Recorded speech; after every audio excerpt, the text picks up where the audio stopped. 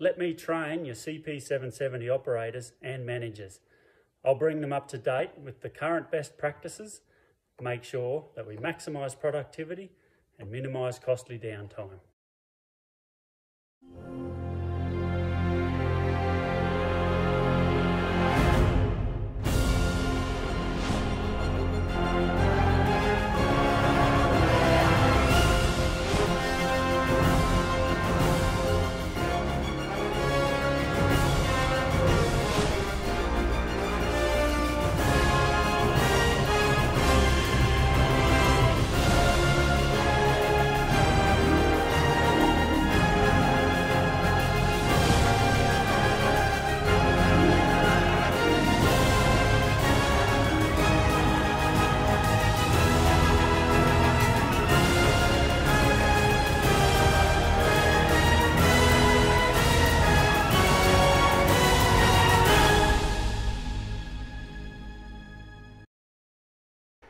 This bonus module I call Aussie Ready is about a bunch of some little, some not so little things that, that we did with our 2022 delivery machines to get them really humming and, and live up to their potential.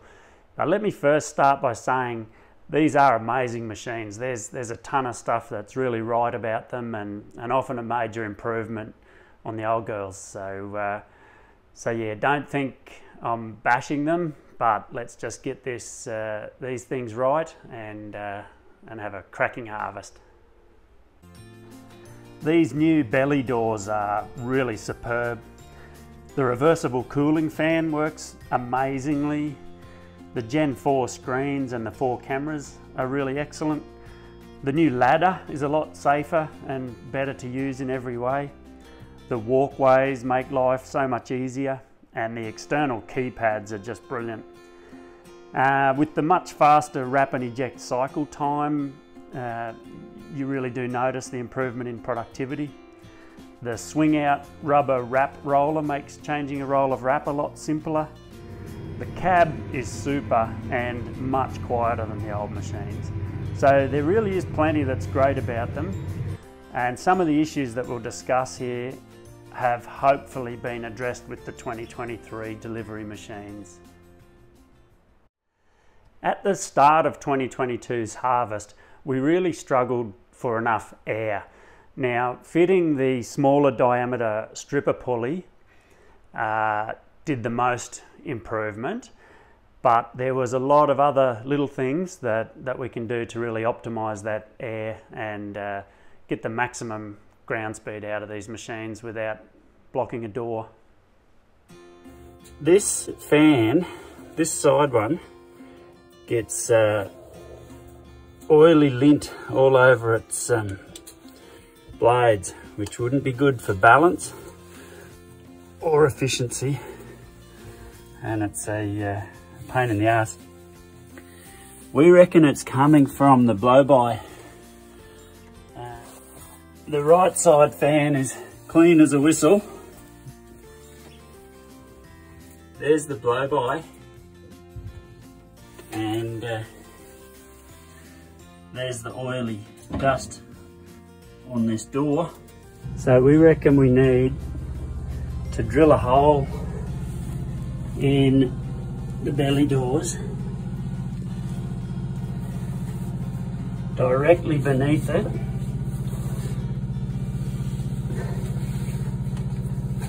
if I can get in here.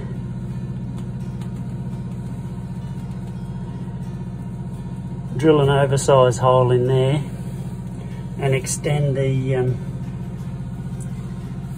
extend that pipe. It's going to need 150 mil. And get that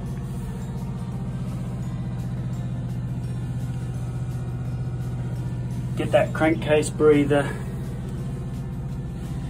uh, putting that oily air out the bottom.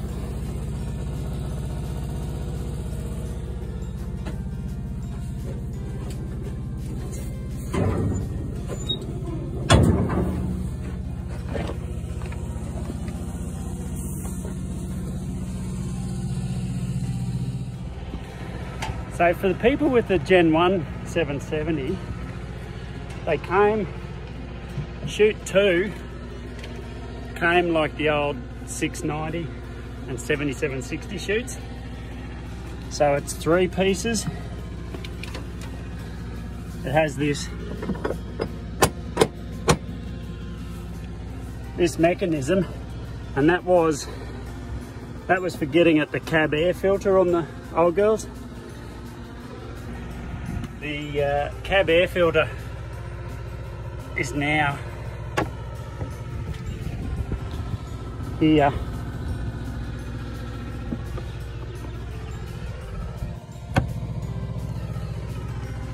So this three-piece chute is unnecessary and we found there's just an enormous air gap around around that joint where all the tape is and that's what's uh, that's what we think's making chute 2 the weakest chute on these machines or part of the problem so we made all sorts of attempts to seal that with pool noodles and uh, door frame foam duct tape but um, they were only ever small fixes. The best one I saw was expanding foam, and that's the only machine I've heard of that chute 2 wasn't their weakest chute. So uh, the Gen 2 770s are not going to have that, I believe, so uh, that'll be great. And yeah, I think it needs changing on Gen 1.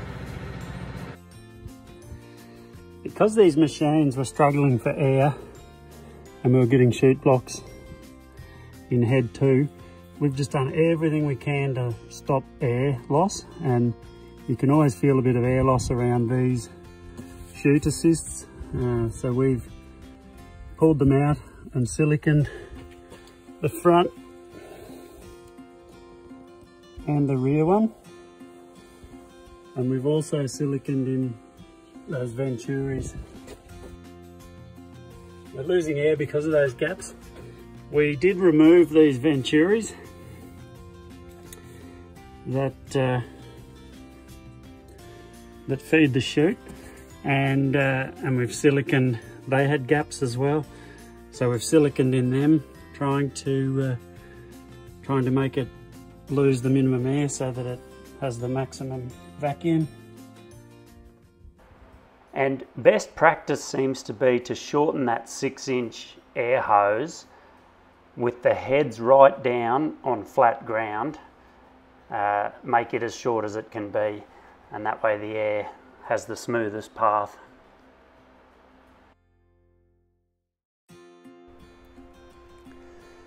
I've been reminded that for some people this CP770 is their first John Deere cotton picker.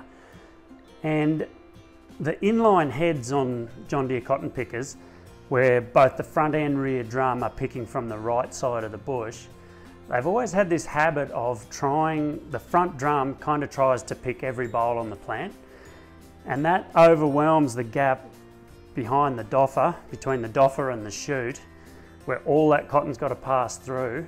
It can overwhelm that and cause a door block. So we try to let a bit extra cotton through to that back drum in these really high yielding crops. Now that now that 15 bales a hectare is becoming quite common and over 20 is, uh, is starting to happen, we really seem to need to uh, let a bit more through to the back drum. And we achieve this by adjusting the gap on the pressure door wider, the front pressure door, and by backing off its spring tension. The book says two holes pressure for the front pressure door, but we will back it off to one and I've even heard of half a hole. The trick is to just adjust them one at a time and then check behind the machine that it's doing an acceptable job. This one's this one's closer than we normally set it. I like to have a whole finger off that pressure, off the front pressure door. And the back one's a bit harder to see with the scrapping plate, but it's pretty much by the book. Three to six mil and three holes pressure a damn good crop.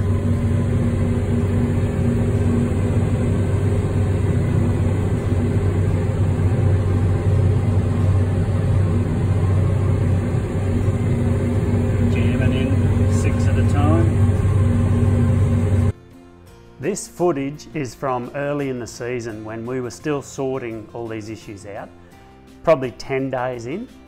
Once we got the machines optimised, we would have been travelling at probably 7.2 kilometres an hour instead of 6.4 and maybe slowing to 6.6 or 6.8 for the wrap and eject cycle. These little things really can add up to a big difference.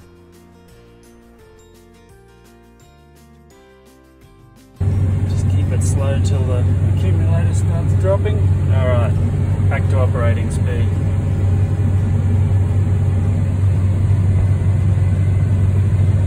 That's the cotton going into the accumulator.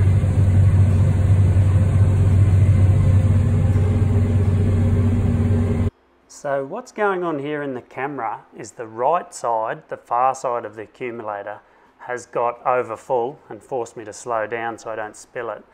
But the left side, that's closest to us, closest to the camera, has so much space in it you can still see the auger. So that's the uneven filling that I'm talking about. So when these machines were delivered, they have fully half of the cotton going into just one third of the accumulator. You got all three chutes from four, five and six in just that part. And then these other two thirds of the accumulator handle the other three. So, so it's just vital that we get every chute on the machine as far to the left. I'm facing backwards. As far to the left as we can to give us the most even accumulator. That way we can hold the most cotton and get through the wrap and eject cycle at the uh, maximum speed.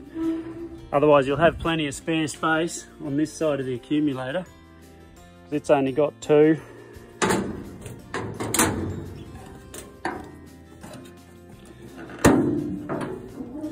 and there's one going in here.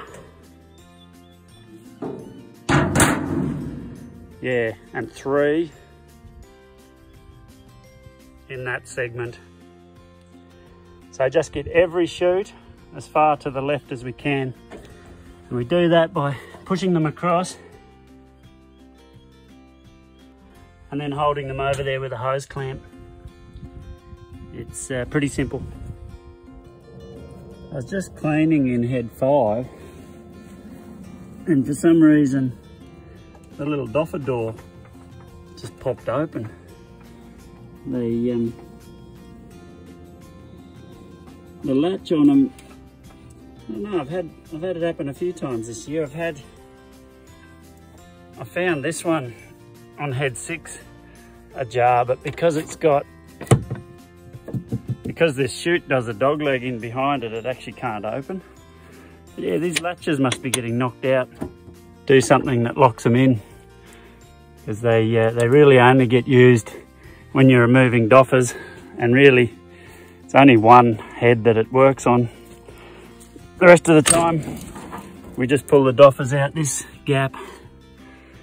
So uh, I think I'll be latching them, they um, or locking them that's the sort of thing, if that doffer door was open, all of the cotton that the rear head is picking would drop on the ground out that door. This is what happens when the little doffer doors come open at the back. The stalks seem to poke them open when you're reversing the field.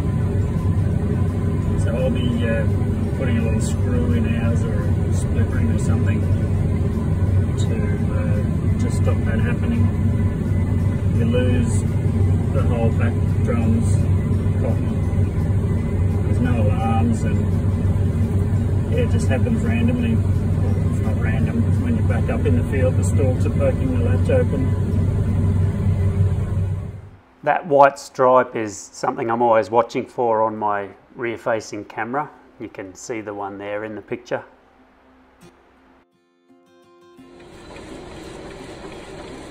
Now I don't know if this is the only machine that had this or if heaps of them do, but at the start of the season, the machine I was driving, when I would grease the heads, the slowest head took a full 60 seconds more greasing time than the fastest ones. That forced me to over grease all the other heads on the machine to get that slowest one properly greased. And I searched high and low for the cause and eventually the last thing I checked was these nipples in the six-way picker grease manifold in under the cab and they had significant amounts of silicon on particularly that slowest one. It was almost completely blocked. So if your greasing is not really even, it would be worth checking these. The handler on the CP770s is different to the older machines. The old girls have four beams and cutouts between them that our meter rows kind of fit in. The 770 has five beams and no cutouts. Our meter rows run almost beneath one of the beams and to make matters worse, there's a crossbar that has a forward facing edge, meaning it almost acts as a cutting edge. It fully pulls stalks from the ground and leaves a much bigger gouge than the old machines when you're dropping a module off in the field. And that really did make life harder for the mulchers, root cutters and subsequent operations. We made some cutouts in ours to try and improve it and they did improve it a little bit, but not enough. Uh, and you actually really feel it make the machine work hard while it's dragging on the ground, which is just unnecessary stress on, on every part of the machine. The only good solution I've seen is this machine here. And they sheeted in that section uh, so that it would just skim along on the ground and I'm told it worked excellently throughout the season.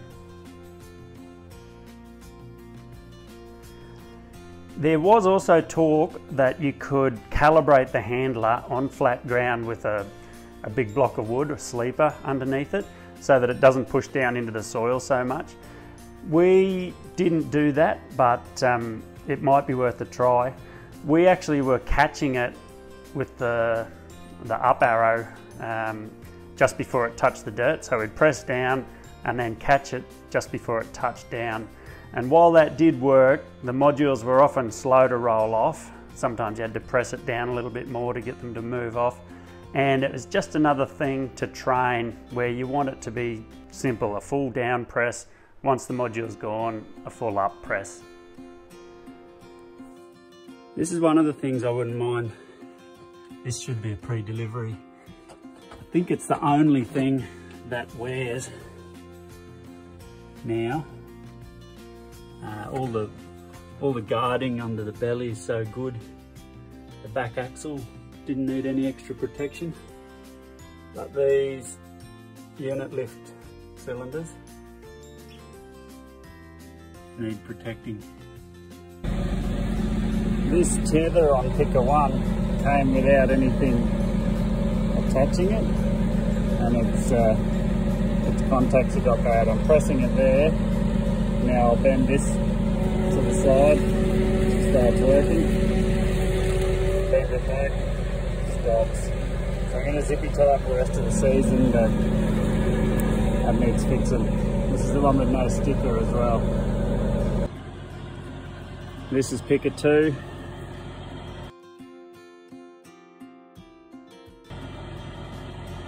That's what she should look like.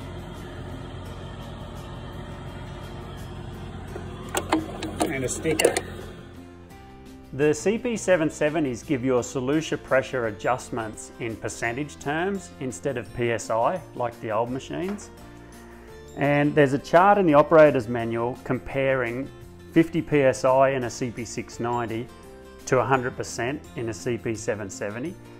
Now this is deceiving because the chart is referring to TX3 nozzles in the 690 and TX4 nozzles in the 770. So it's not really apples and apples. We ran TX6s in our front drums and TX4s in the back and plenty of people ran TX8s up front and 6s in the back drums. The maximum pressure of this new electric pump is only 150 kPa or 22 psi. So we run from 5 to 100%. Now if you're a maths nerd, this might annoy you a bit because you think 5% is, you know, 1 20th of the water that's coming out at 100%, but it's actually not. If you do the sums on this, 5% is actually 60, 63 or 4% of 100%. So, uh, and yeah, so I, I was reluctant to go to 5%, thinking the nozzles will probably barely have pattern. Uh, I was using 25 as my lowest, but realistically, you might as well start and finish your day at 5%. And I really like to align those three little lobes on the clip with those plastic wing nuts. It doesn't hurt your fingers then when you grab it. Maybe I'm just getting old and precious, but really does make a difference. Plenty of owners chose to fit a higher volume solution filter and place it in a convenient to access position. This seemed to work really well and certainly made it less likely that you'll have to stop and clean the filter between tank fills. And it's also a handy thing for washing your hands or cleaning the little nozzle strainers. So yeah, I, I quite like it.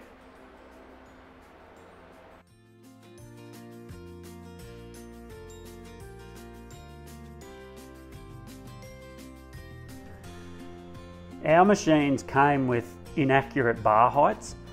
They were up to a 15 thou range and I did hear of worse. And so we had to fix them during the season which cost us valuable time. So I recommend no more than a 6 thou range and I would be checking at least one or two front drums when your machine's delivered and if they're fine uh, you might choose to go with that but uh, I wouldn't just blindly assume they're, um, they're within that six thou range. I've got a good example here of uh, inaccurate bar heights. We, um, we got them down to a 10 thou range, but any work you put into them, I reckon I'm going to start going to 6 thou. Any work you put in just saves you later. So this spindle here with all this wrap on it, that's going to damage that buffer plate. The other ones in his row are clean. So there's 16 bars. Let's have a look at how that row looks. That's one, two, three, four, five, got a little bit, six, seven's got a lot, eight, nine, ten, eleven, twelve, thirteen, fourteen, fifteen, sixteen. So there's there's a few in there with cotton on them, they'll be low bars so the doffer's not cleaning them as well. And then once it builds up like that, damages the doffer plate and then uh, you're up for a whole new doffer. So uh, accurate bar heights are worth so much for reliability through the season. The operator's manual on page 90-13 has a suggested design for a moisture pad tool and I can confirm that they are brilliant. They really are a must-have.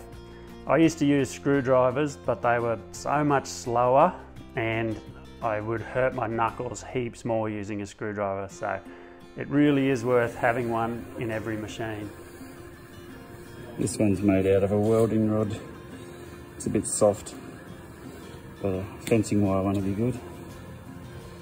We just hook it in hook one corner off, two corners.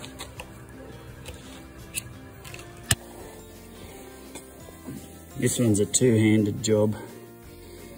I get the hook in, clean down the side so that the lip's gonna go on. You pull up and roll over. Then we get both sides on nice. Pull up roll over, all the while you're pushing with this hand. Another thing when our machines were new is the moisture pads weren't uh, fully aligned. They were set so that we had proper contact in the sort of top 10, but it turned out the some of the lower moisture pads weren't actually contacting the spindles, so we were getting wrap in the bottom of our drums. And um, so it really is worth when you uh, receive your machine, check that every single moisture pad in every head is getting that perfect contact and, uh, and you won't have that rough start that we did. So this is just a tiny snippet of uh, what I offer in CP770 Essentials, which is my one day training course for the CP770, in which I'll come to your workplace and, and deliver this in person. Uh, I'll watch the uh, online modules with your team and then in between discuss, uh, answer questions, and hopefully have a machine next to us that we can uh, get our hands on and um, all really help with the recall so that when that crop's ripe, we really can hit the ground running. The other thing you get is full online access to all the learning modules for the entire harvest season. So every attendee can choose to rewatch some or all of it before harvest starts or during harvest if they're struggling with a certain aspect it's always there to, uh, to use as a guide. And many clients are choosing to send along their 7760 and CP690 operators. It is, the majority of the course is John Deere round module building cotton pickers. Um, so it is relevant, the buttons and um, screens might be different, but it really does translate into the older machines. So if you found some value in this, please share it widely. Um, I think everyone is going to get a lot of value just from this, let alone the whole course. So anyone that's got a machine coming, anyone that runs John Deere cotton pickers, doesn't have to be Australia, please share it. Contact me, Troy, at realskillsagtraining.com.au or find and follow me on the socials. Thank you.